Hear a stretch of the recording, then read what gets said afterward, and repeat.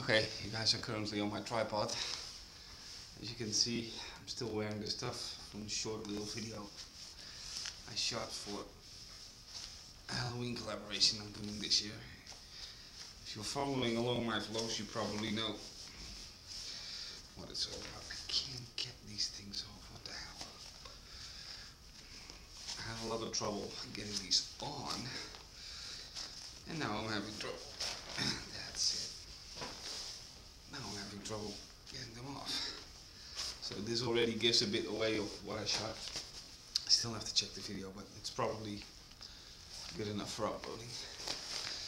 Ah, there we are. And this thing is killing me. All right. So yeah, gonna get you guys off.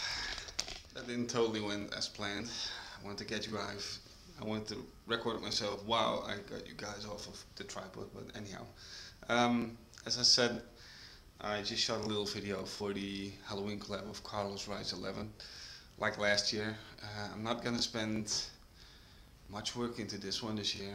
Uh, I had really a lot of trouble uh, generating the video that I want last year.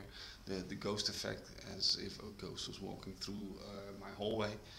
Um, and yeah, well, this went okay, but I really had a lot of issues with getting those special gloves on. Uh, yeah, you gotta at least if you want uh, to see the full uh, collaboration video, you should subscribe to Carlos um, and keep uh, updates on his channel.